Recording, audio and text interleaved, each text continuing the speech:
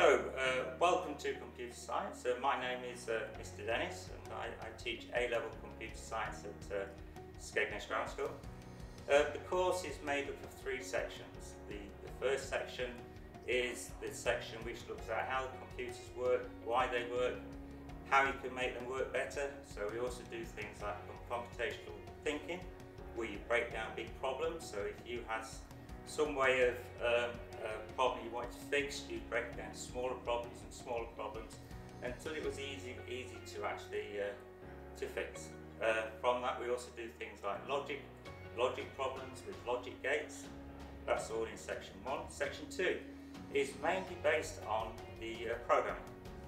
So we teach you the, the pseudocode, so how to program without knowing any language um, in the first place. So it's just basic English and writing down how you want something to work.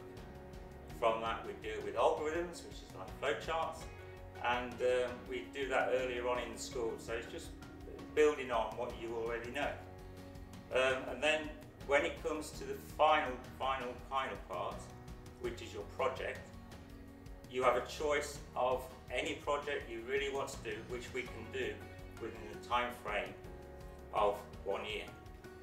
Now that can be a, a, business project.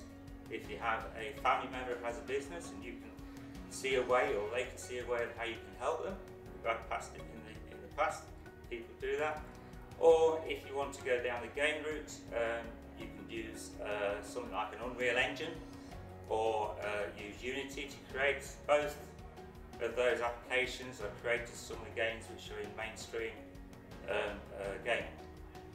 The uh, the, uh, the, the languages you use are uh, dependent on you.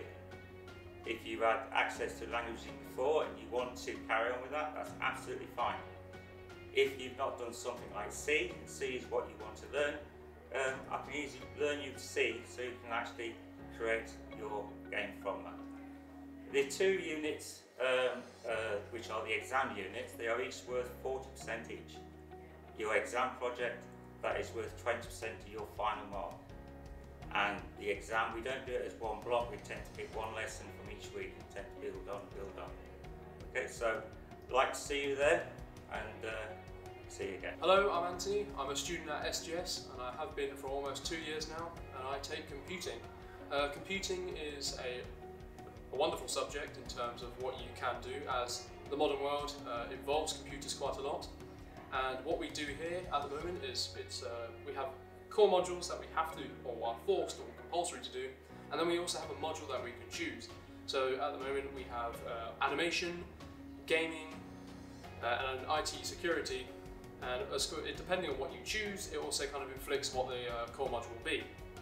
Also here we also uh, get taught how to code in various languages. So for example, we know how to code in Python, Visual Basic, uh, C Sharp and pseudocode. Um, these are these are like these are just for the exams.